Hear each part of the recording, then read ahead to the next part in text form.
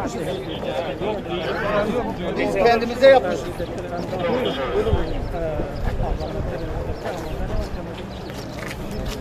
Getir şey diyerek. Getir şöyle. Niye arayı kapattırıyorsun? Niye niye? Gerçekten derdiniz ne ya? Ya sana diyorum ki eş başkanımız burada açıklama yapacak. Evet. Bak gelmek istiyorsanız gel. Ne bağırıyorsun? Sen bağırıyorsun. Sen bağırıyorsun. Hayır.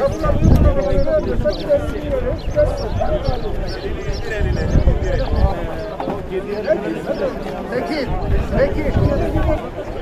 Mesela beni dur. Örneğin sen de böyle. Evet öğreneceksin.